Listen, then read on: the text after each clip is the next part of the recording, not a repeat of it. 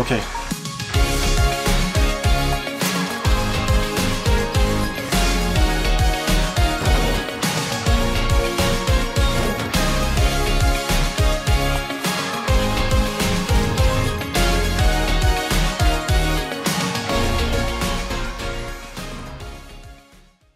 Guys, I see that you're creating some uh, quite cool games. The Discord has been filling up with uh, quite a few uh, racing projects, low poly racers, much further away than I've managed to get on my one. I got uh, quite some cool, uh, cool games. Uh, one guy uh, made a like a Mars racing game that was uh, super cool. Another guy made a really uh, intricate track with loads of AI and cars and stuff that looked amazing too. And I've seen quite a few projects, so thrilled about that. And sorry, internet, for filling up everything with low poly stuff and, top down racers at the moment. All right, it's 1:41 a.m. I've got myself a cup of coffee and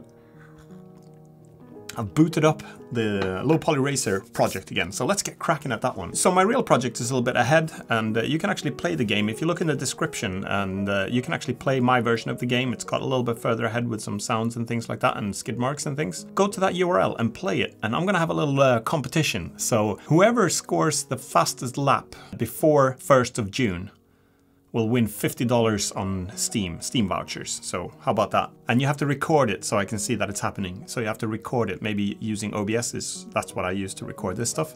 So uh, it's called Open Broadcast Software. If you Google that, you can download it and do a screen capture. Post it on uh, on YouTube and whoever's got the fastest lap, uh, and you have to let me know about it as well. Hashtag it uh, low poly racing. So uh, maybe I can find it that way.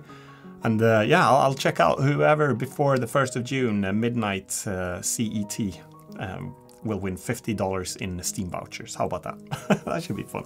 All right, guys, this is where we left off pretty much anyway. I've, uh, I've got, I just continued to place all the tra uh, trackside objects. So I added uh, more stones, more tires, and more fences all the way around the track, but it's pretty much exactly how I did it in episode 4, so have a look at that if you want to see how to place those uh, trees and, and trackside objects. Uh, and then uh, I swapped the, the cop car out for this uh, race car. I also modeled this one during this 10 uh, minute video if you remember that. So uh, I've swapped that out. I thought it was a little bit more racy to keep that one in the game. So, but it's pretty much the exact same setup as before. And uh, it's here, it's just got the same hierarchy for the wheels and everything like that that we did last time. And if I press play now, there's no Mm, yeah, pretty much where we left off anyway. So, so the first thing I want to do now is uh, I want to create a prefab out of this one. So I'm gonna just uh, I've created a folder here called prefabs and uh, an, another subfolder here called cars.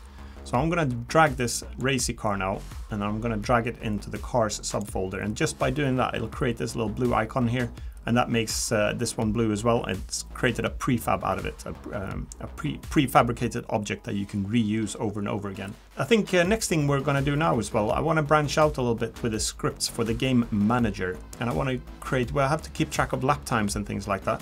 So uh, I'm going to create a player object. So in this uh, folder, in the scripts folder, right click and do create uh, C sharp script, and let's call this one player and then double click to go into edit this one. And now we're going to start adding some content here, stuff that we want to have the control over. So uh, the car is uh, the car itself. I want to try to isolate the logic as much as possible. Uh, so when I create the scripts and components, for example, the car should really focus only on what the car is doing. So like uh, keeping track of the wheels and applying torque to the wheels and doing skid marks and things like that.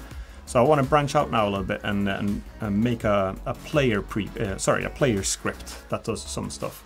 So the first thing I want to make uh, possible is uh, I'm going to create a public enum here called control type. And that's going to be able to have two different values. One of them is human input and the other one is AI. Because a player could either be me playing the game using my keyboard or a, a controller, or it could be an AI player. Still, both of them are players, just one's human and one's AI. And uh, I just want to set up so I can uh, um, prepare for that in the future when we added some AI stuff. And then we want to do a public uh, control type here of that enum type. And we'll name it control type and set that to, to default to human input. And that's what we'll be using. Then we want to keep track of a few things. We're going to start adding some lap times and things like that. So let's do uh, some public floats here as well. And uh, floats is basically, I'm just going to keep track of the number of seconds that a lap takes. And then we can reformat that into a time format. Let's make a property here called best lap time and it's going to be a property and we're going to be it's a public get so we can get it from anywhere any script will be able to read this one but only this one will set it so we're going to say private here set and then we're going to default it to mathf.infinity because uh, we don't really have a best lap yet and if we set it to zero and we try to compare a lap time to zero you're never going to beat zero are you? So uh, let's just set it to infinity. Everyone will beat infinity. So the second float we'll do as well is public float, and let's do last lap time because we want to keep track of the most, uh, or the previous lap that you just completed. Uh, that one we can set to zero it's not being completed yet, so let's just put that. And then we're gonna make another one, and let's do a current lap time. So current lap time. This is also gonna be a get from anywhere, but a private set, and default that one to zero as well. And then we have a lap counter as well. So we'll do a public int, integer this time, whole numbers, and uh, it's going to be current lap get private set and equals zero. That's it, and uh, then we have to keep track of uh, some of the timers as well. So uh, those are just to keep track of uh, of the actual lap uh, times themselves and the current lap count. But we have to use a timer to, to time ourselves as well. So what we'll do here is we'll do a private float lap timer. And we also need to kept, uh, create some checkpoints to pass and we have to keep track of those. So let's do a private int, so let's just count those. Last checkpoint passed. Let's just set that one to zero. So I have the scene here. Uh, let's just uh, start by in all the corners we'll cr create a, a, trigger collider. So and we'll start, I think, by the start finishing line here. So if I go here and let's create uh, a new folder here under track. Let's just create a new empty game object and call it uh, checkpoints. Oop, checkpoints. And we keep that at zero, zero, zero here. And then we add our first checkpoint. So I'm gonna click add here and create another empty. And then just call this one one, short, short and sweet. And no need to complicate it. And then we add a component here and it's just gonna be a box collider and it's going to be a trigger. So we take this little trigger mark here. And then we can change the size. Let's see if we can find it in the scene here. Now we'll just move the whole game object here so we can get this into place. So I'll zoom out a little bit on the mouse wheel here, slide it into here. And now let's just create a, a quite a generous collider here. So we'll make it wider like this. Let's make it possible to pass a little bit on the grass here as well. And then maybe we change the height as well in case you're, or no, the depth to cover, yep, the track. And then height as well. Maybe someone's flying through here, colliding on something. So let's be generous on the height as, on the height as well. So this is going to be our uh, start finishing uh, checkpoint one collider. And then what I can do is just uh, I select this one and press Control D to duplicate it, rename this one to two. And then let's just put uh, colliders here on each corner. So I'm going to slide it here. So ISO top view. That's it. And now we select uh, two here. Now we know that uh, they're perfectly aligned with the isometric view and we've got a perfect top view by clicking on this little green axis here, the y-axis. Then we know that this is looking straight down, little bit easier to align these. Now we can press, uh, press, press uh, select this one again, press uh, E to rotate, not like Blender, so where it's R, here it's E. So uh, let's rotate it into shape and press uh, R to scale. Very strange. Um, let's just make a checkpoint here. Again, a little bit generous on the grass so you don't have to do it perfect. Maybe you can cut the corner slightly there. Let's press Control D, duplicate.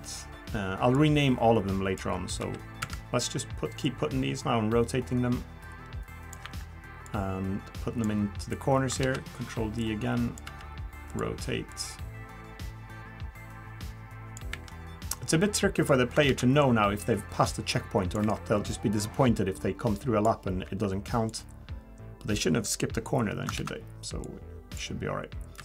Uh, but you could uh, consider maybe putting some little things that light up, like little uh, lights that shows that you've cleared the checkpoints. That's one way to do it maybe. So I'm just doing Control D, rotating these into place for all the corners. Ah, come on. All the corners here.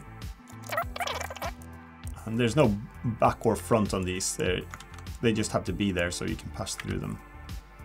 Uh, Control D. Oh, this is going to be this, just two more now. So rotate this one. Bring it down to there. And control D, that can have the same shape. And now we'll just, just do a, a whole bunch of F2 on these to rename them. Five, six, seven, eight, five, six, seven, eight, nine, ten, and 11. Also what I'll do is I'll, I'll create a new layer for this. Uh, now we can go back into perspective here. And if I block select this with shift, I'll, I'll see all the colliders here that I've got. That's looking pretty good. So I'll go here on the layer, add a layer. Let's just call it checkpoint. And then I go again, block select all of these. Actually, let's do the whole thing here. Checkpoint and then yes to change all the children. So Okay, so now we've got a whole bunch of checkpoints here. Now we need to make sure that the car is passing through these, and we were working on a script for that. So uh, we've got this uh, player script now. It's not attached to anything, and it's not actually doing anything yet. So let's uh, work a little bit more on this script. So first thing in the awake, we're going to use the awake instead. I usually use awake to get things... Uh, if you don't know what awake does, it's uh, a mono behavior that executes automatically, and so does start. But all the awake... Uh, so if I do this, void awake, uh, any script now in Unity that has this awake method will be called uh, as soon as the script is uh, awoken or started up. And then it'll complete this awake on all of the different scripts that you have, all the mono behaviors. And when it's done with that, it'll actually do the start method on all the scripts. And then it'll complete that. And then it starts going into its update loop. So you can you have a little bit of control if you want to put it in awake or start. So sometimes you can have a race condition. So you want to uh, if you have something that must be set in start, you can set it in awake. That was a lot of a lot of uh, chatting there for very little information. But uh, in week anyway. So when this uh, game object is started, we want to do checkpoint uh, parent. We need to find this parent object. Uh, checkpoints. It's plural. Parents. And let's just do a, a quick and dirty find for this one. Game object find checkpoints dot transform. We want to transform for this one. And we actually have to define that one here. So we need a private transform checkpoint points parent. Okay, and uh, so GameObject.find will Unity will look in the entire scene now for a game object that's named checkpoints, and it goes by this string here. This will look through the entire scene, and this is quite a, uh, an expensive operation for Unity to do to look through the whole hierarchy. You don't want to do this in every frame of your game, but I'd say it's perfectly fine to do it in Awake. So sometimes it's difficult to, uh, if you rename the object in your scene, for example, this won't be found and it'll throw an error. And I'd also say that it's pretty good that the game throws an error, so don't do a check here to say if uh, null, then uh, just be silent. Uh, it's good that it fails if you change the name, because then you know, oh, yeah, I remember now. I had to change the name. The reason why I'm not doing it uh, into a public one here and assigning it in the inspector is because if I have loads of tracks, uh, let's say I've created 10 tracks, I don't really want to be uh, creating a, a, hard reference here in the inspector for each track because uh, this should be quite generic, the script, so it should just uh, expect that there is a checkpoints uh, parent somewhere in the scene and use that one. That's why I'm not using uh, public to expose it in the inspector. So now that we've got that, let's do a checkpoint count as well. So checkpoint count equals checkpoints parent dot child count every transform in Unity, you can access this little property here or a, a, variable called child count. And this one we haven't defined yet. And here's a nifty trick in uh, C, uh, Visual Studio that you can do. I just typed the name that I wanted here. You can press Control period on your key. And then it, the first suggestion here is to generate a field. And if I just press enter now, you don't have to type this manually every time. So that's quite a nice trick to save yourself some time. So now uh, we've got uh, track of how many, and we created 11 checkpoints. So that's what's going to be, uh, it's going to detect now. If we look in Unity here now, we can see that the checkpoint has got, this is a transform if you remember. And it's got uh, 11 transform under it, the children, and that's what it finds here. So that's going to turn into 11. Then we'll do a checkpoint uh, layer let's see, checkpoint layer equals layer mask. And here this oh yeah, layer mask um, name to layer. And we're gonna convert the check uh, point layer here. And then again, we want to define this one, control period, and it'll know that it should generate, uh, and this is an integer And the reason why I'm doing this is because it's faster for Unity to run on integers instead of having to do uh, a, a, name uh, check all the time. So that's why I'm defining it in awake. It only needs to convert layer mask dot name to layer will take this uh, string name and convert it to an uh, int. It could be some really weird number that only Unity knows about. But it stores it in this layer so we can use that one.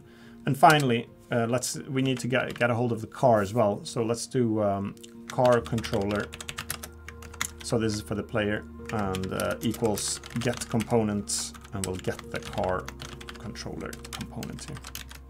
And we have to generate this one as well. So stand here, control period and enter. And that's defined those uh, for us because we need to keep track of a few things for the car as well. The reason why we want to keep track of the car as well here is because we're going to send the input here. We're, feeding uh, the input controller, but we're going to change this now so uh, either an AI or a human can control this car.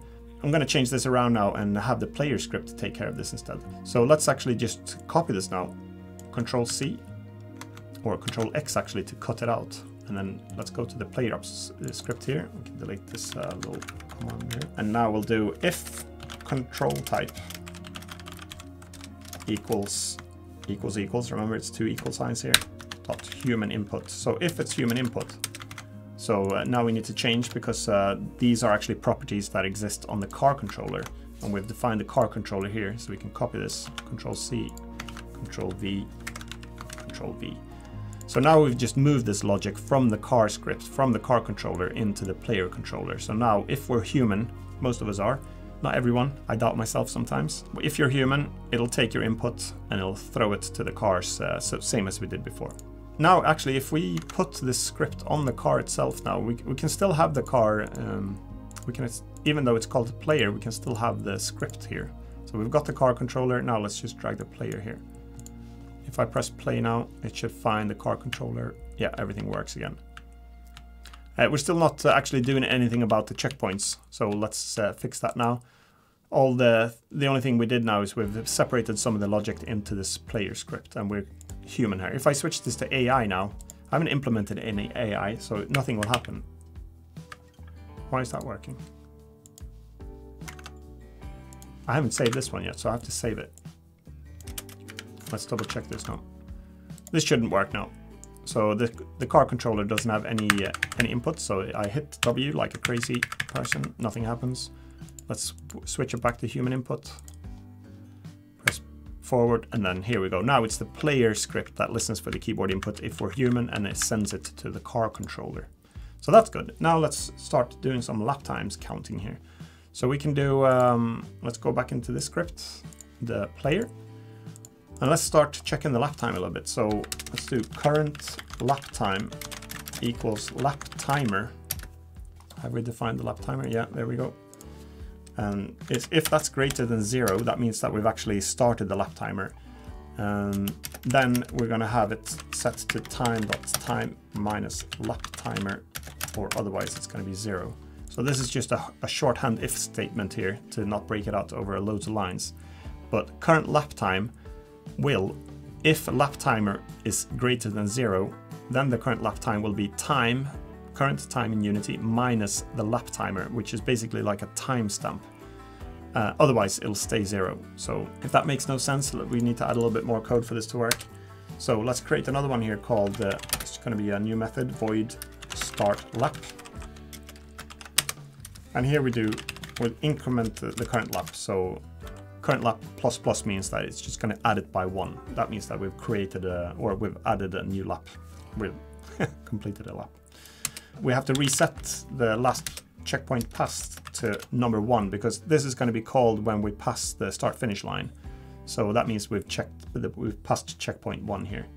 And also let's set uh, lap timer here. So lap timer equals time dot time.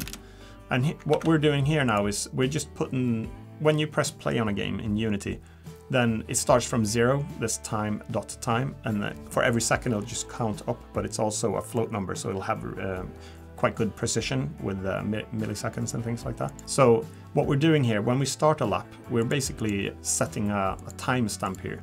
And what you you could say that, uh, for example, if uh, if you pass this when uh, the clock is at uh, seven, let's see, seven dot eighty seven, why did I write 775 then? But let's say it's 775 here. It'll just take the current time and store that in lap timer. And the reason we do that is because here in update, when we, if the current lap time, we can actually calculate. So let's say now here, the time is, uh, we've driven past the first corner and coming up to the second, maybe that took us about uh, three seconds. So now the timer, this time, why am I pointing to the screen? So time.time .time here now is 10.75 say. And we do minus 775 because that's what this timestamp is. And we could actually rename this one and call it, if I press F2 I can rename it to lap timer timestamp. And that would be equal to 3 seconds. So the current lap time is uh, up to 3 then. So that was a little brief explanation of the logic. Hope it makes sense. And we also need to do an end lap here. So we'll do void end lap. So these are methods that we can call. And uh, then we're actually to calculate now what the last lap time was. So let's do last lap time equals current time, which is time.time, .time, minus lap timer, which is the timestamp. So now we've completed a whole lap. And let's say that took about 20 seconds. So again, if the uh, if the lap timer was 775, oh, I renamed that one, didn't I? Uh, lap timer timestamp. So if that one was 775 and we were now at uh, 37.75, so that minus that one meant that we did a lap of 20 seconds. That's right, isn't it? yeah, hope so. Math it was never my strong side. So uh, also we can do a best lap time check here. So best lap time equals mathf.min, which is going to pick the lowest value now of either last lap time or best lap time. And the first time we complete a lap here, let's say it took you one minute because uh, you don't understand how to drive a car. And this will check, is one minute lower than mathf infinity? It's gonna say yes, and then it's gonna store in best lap time, it's gonna store that one minute lap. But next time you come around, maybe you did it in 40 seconds because you improved a little bit, then uh, it'll see, okay, 40 seconds is lower than the current or the last best lap time that I have of one minute, so I'll store that one. It'll keep doing that all the time and update this best lap. But then again, if you do the slower lap, then it won't update it because it'll take the smallest value of either the current lap time you, or the last lap time that you did or the best lap time. Still nothing would really happen. We just prepared a lot of things, but now we need to start checking for the collisions here. So on the player script here, let's do void on trigger enter and then that can, uh, this is a, a mono behavior as well that uh, Unity will execute when it hits a collider or a trigger in this case. And we can actually get some information about the collider. So you can do this. When we drive our lap now, you enter one of these triggers. This will be called automatically on the script since we've uh, triggered it. And now we need to do some logic in here. If, let's say, if the collider game object layer is not a checkpoint layer, oh, checkpoint layer. Then we don't want to do anything. So we just return back. We want to ignore that. Let's say you had another trigger here for uh, a red light or something like that. I don't know, any trigger. Then uh, we want to check here that it's actually a checkpoint layer. And if it's not the checkpoint layer, the collider that we just uh, entered the trigger of, we want to just return out of this. We want to ignore everything else. So we know now if we hit this line down here, that means that we have in fact uh, entered a trigger of a checkpoint that is. So if collider game object then we can check if that trigger name is 1, because that's what we named this object to. If you remember, we just named it short and sweet 1 here. So it'll check if, if this name is 1, that means that we're actually passing this checkpoint here. And then we can do uh, some logic here. So let's uh, enter some squiggly marks here. And then we'll do, uh, so if last checkpoint passed equals checkpoint count. If the last checkpoint that, that we passed was the same as the checkpoint count, which is number 11, that means we've just completed the lap because we hit the last uh, checkpoint. I'm to comment this to make a bit more sense. So if this is checkpoint 1, which is we're doing the check here, then we're going to see and we've completed a lap and the current lap.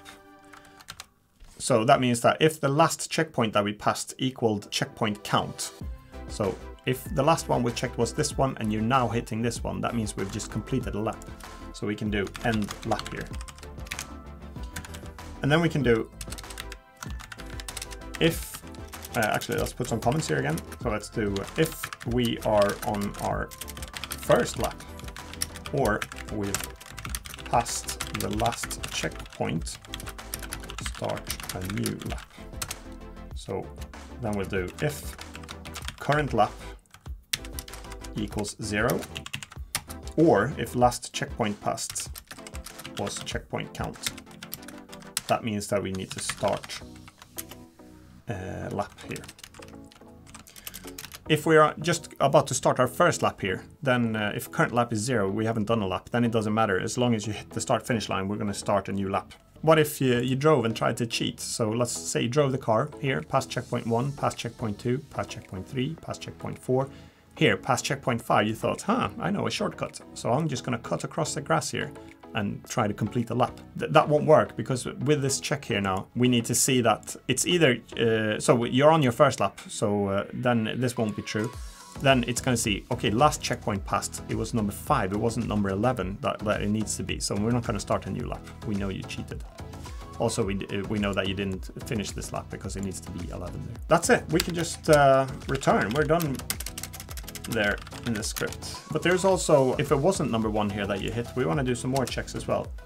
So let's put some logic here. So if we've passed the next checkpoint in the sequence, because we have to do them in order as well. We don't want to be able to do like uh, checkpoint one and then skip across to number five and then find a, an optimal route uh, like that. So let's do uh, update the latest checkpoint. And we do that through uh, if collider game object name equals last checkpoint passed plus one. And this is an integer, so we have to convert this to a string. This method here. Then we can do last checkpoint passed plus plus. And this means that uh, the, the, the name of the checkpoint that you're passing needs to be one named one number higher than the one that you passed previously, and only then should you increase the last checkpoint passed. So you can't just, another one uh, that would have been ugly to do. If you didn't do this check, basically you could just drive across the finish line, go back, hit pretty much no this just this checkpoint again number 11 and then do another lap but another lap. That's what we need to keep track of the sequence. We're pretty much done with this script now but nothing will really happen because we're not uh, updating a ui or anything. So maybe we'll just uh, debug log some input here and uh, say here let's in this method let's do debug log start lap. Here we can do end lap. Let's do a debug log here uh, end lap. And then we can say lap time was, and then last lap time seconds. Now we can try this. Let's press play. And we won't really know since we're not out outputting it. Now we see, yeah, start lap, that one triggered, and I looked down there, so I crashed instead. Let's uh, drive around a lap here.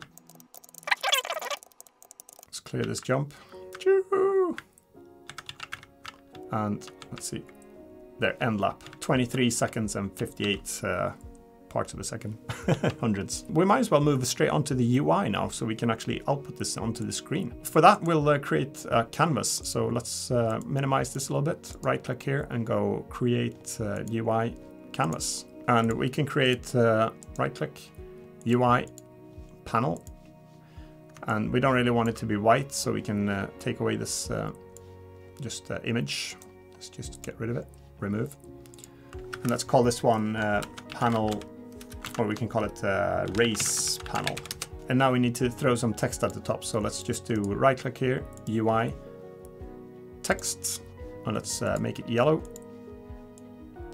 or orange. Let's type here lap and then put some placeholder stuff here. And we don't want the lap, oop, we're looking from the wrong way here. We don't want the lap to be in the center of the screen like that. So uh, first of all, let's make it a little bit bigger and bolder. And then we want to put, uh, actually you can put some shadow on as well. It's a bit difficult to see. So let's add um, a component here. Just type in shadow and you can get a little shadow here. Maybe two minus two to get the offset a little bit more. Let's call this one text current lap. And then we need to position this. And this could be a bit tricky to before you get used to it but it's all about this rect transform up here. And we're currently, it's got a center point here And uh, so wherever this uh, position is, and it's got this pivot point of 0.5, 0.5, which is in the middle of the object because it goes from 0 is on the left of the object and 0 is on the y is at the bottom of the object. And then uh, it goes up to 1. So what we want to do, if we want to align it up in this corner here, first of all, we want to change this anchor here. So it's anchored up in the top left corner here. And then we want to do the pivot point. We don't want that to be in the center of the text. So let's do that one to zero, which is at the left of the text here. And it's left aligned the text here as well. And then we want to do pivot point is going to be uh, one on the y-axis because y one is at the top over here, this one. And now we can change this. Uh, so if we put zero here, it'll slide it all the way to the left edge here. And then zero on the y, it'll slide it all the way up. So a recap here, we put the anchoring point here to top left, and then we've put the pivot point to the top left of this text object here, and then we've reset the position to 0, 0, and that, that will nicely anchor this one now. So no, regardless of how you resize this, it'll put that up in the corner. But then again, we want to have some margin maybe, so let's put it 10 pixels in and maybe minus 10 down or something like that. And let's make it, uh, should we make it a little bit bigger? No, that should be all right. Uh, but what we'll do is we'll actually scale this canvas as well, because if you resize this, the text will be really small all the time.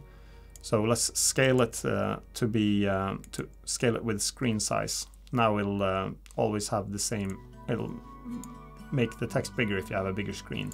So maybe that's uh, quite suitable for this game. So that's going to be our lap timer. We, we, or sorry, the lap count. We want to have a lap timer as well. So let's do another one here called uh, current time, and then uh, we can. We, I just press Control D to copy that one. Now we can slide the X position in a little bit, maybe to there. Let's type a nice even number there, 110. And then this was going to be lap, or just put time. And it's quite racy to have it in uh, italic, isn't it? So let's do italic text for all of these. It's a bit uh, sporty, race car bold italic. Okay, and here we're gonna have just, it's gonna say like some time here. We'll just type in a placeholder so we know roughly how big it is now. And then uh, we need to do two more. Uh, we wanna keep track of the last lap time and also the best lap time. So just press Control D to duplicate these. The best one, uh, let's just keep sliding these in actually. Uh, you could re-anchor it to be right aligned or something like that, but let's just do this. Last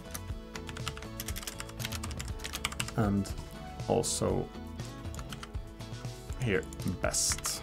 We'll put best. And then slide this one into maybe that and I always like to keep these. I don't like uh, not I'm a bit OCD so I need to have it on some decent numbers there. Need to round it off. If I press play now this is not going to update because all I've done is create some placeholders here. So uh, it'll be fun if this actually kept track of what we're doing and for that to happen, we need to create a new uh, little manager here. Uh, so let's create uh, a new object here under the game manager, create empty. Let's call it UI controller. Let's create a new script here, right click and do C sharp script, UI controller. Let's drag this script onto the UI controller game object. And then we need to put some content in here as well. Here we want to keep track of a few things. So the first thing we want to do is uh, expose some stuff to the inspector. So public game object, and it's going to be the UI race panel here that we want. Then we're going to keep track of these different text objects that we created. So let's do public text UI text current lap was the first one. And this one is uh, squiggly red here because we need to do control period on it to uh, use uh, using Unity engine.ui, then it knows what that it's a text object here that we want. Let's uh, control C this one and do current time. And here we want to change to last lap time and then best lap time. And if I go back here now, it should expose these into the inspector here. And now we can just drag these here. So we'll drag the race panel to here because uh, if we're in a menu, we want to hide the race panel. That's why we need a reference to that. The current lap here, there we go. Time, last lap, and best lap. So now we've created references. It's still not going to update because we've only created a, a possibility to use these. So, and uh, we actually have to say, okay, which player should we be updating as well? So let's do a public player and then update UI for player and let's set uh, let's make this a property that we can get and set from outside. Actually, let's uh, instead of making a property now, let's expose that in the inspector because we, we can script that later on. But for now, let's just uh, do a reference to that in the inspector here. So if that should pop up now here, and then we just drag this. The player script is on this racy car here, so that's it. And let's go back into the script again. And in the update folder, uh, update folder, in the update here now, let's just check if uh, there's actually an update uh, player set. And if it isn't, then we just uh, return out of this return. There we go. Then we actually need to keep track of, uh, we don't want to be updating the UI all the time, only when something is changed. So let's do a private integer here called current lap. And then a private, let's just do all of these private for uh, the current current time. We'll do a last lap time and one more here called best lap time. And let's only change these if they've actually changed. So let's do a check here. If current, let's say if update UI for player dot current lap isn't the same as the current lap that we've actually got stored or in our private variable, then we need to do something. We need to do, uh, let's update the UI. So current lap needs to be set to the update UI for player current. So we'll get the current lap from this player and store that in our private variable. And now we need to update the UI as well. So UI text uh, current lap dot text equals, we can do a do a dollar sign before a string here, then you can do some inline string uh, replacement here. So let's do lap colon current lap with these squiggly marks, then uh, that'll replace, uh, allow you to insert that into the string. So this should work now. If we go uh, to press play, lap one. And then the reason why it starts on XXX because we haven't uh, stored anything, but we could uh, force it to, to change that because we're on basically on lap zero. So if we current lap equals minus one here, just to set set it to something so it detects that it's different here. Now when we press play, it'll update that straight away to number zero. And then we do a lap here and there we go, lap one. Okay, let's fix the times as well now. So uh, we do uh, another one here. If uh, let's copy this because we're going to be typing it sometime here. Copy. So if the current lap time isn't the same as the what we've stored here lo uh, locally, then we'll do uh, current lap time. Uh, sorry, current time equals current. Oh, we call that one lap time. So let's actually do that here as well. Lap time F2 to rename that one. And then we'll do here UI text current time dot text equals and then time. Oh, okay, so here for time, we'll do, uh, first we need to get the minutes of the, we don't want it to, to be, um, we want to break out the minutes first of all here. So let's do the squigglies here to replace uh, the text in here.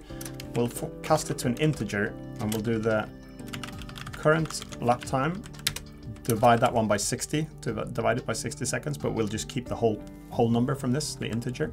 We'll put a colon here, and then we'll do uh, another, uh, now we're gonna get the seconds and the hundred, thousandths of a second here. So we'll do uh, current lap time, and then we'll do modulus 60, so we get rid of the, the minutes first, and then we do colon, the format for this, this is how you do the string format, is gonna be seconds, two seconds here. So it'll start like 0, 1, 0, 2, 0, 3, and then it'll keep uh, 300, uh, the thousandths of a second here as well. Now we press play, when we pass this, it'll start counting the lap timer here. Okay, we need to just do the same now for the last and the best update here. So let's uh, copy, just mark these, copy them, and then here we'll change it to uh,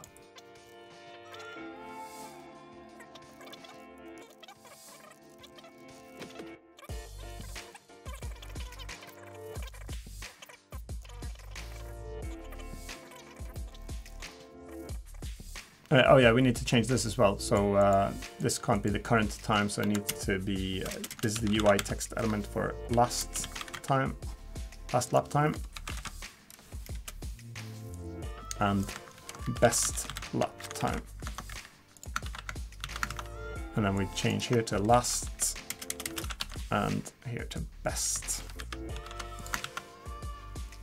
And let's play. Okay, we got an issue here with uh, best is uh, not a number, none. so we need to get rid of none. Uh, we have to implement a little uh, overflow exception for that one. So what we can do here is um, let's only update this one if uh, we've actually set a, a, a, decent lap time. So best lap time, if it's decent, I don't know, but let's say it's less than a million at least, so it's not infinite. You've done a terrible lap if you're on, uh, on that. Uh, this is the shortcut for a, um, if statement. So if best lap time is less than, a, let's see, a million, then uh, after this question mark, it'll uh, put this text here, and then we'll do a colon here, and then otherwise none, let's just put, because you haven't raced yet. So now we'll try again and play.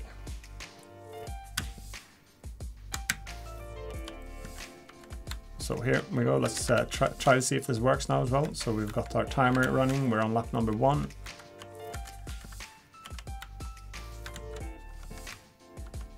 Steer here a bit.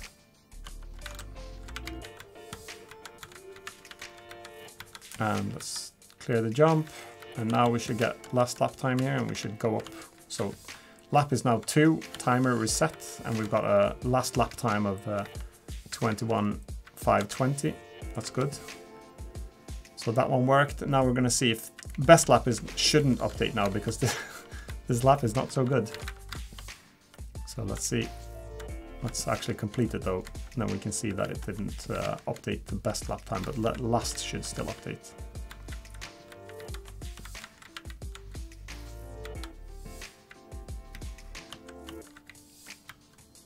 There we go. So last lap time. And now we're uh, Okay, so one more thing we can do, we can make this persistent as well. It's not so funny.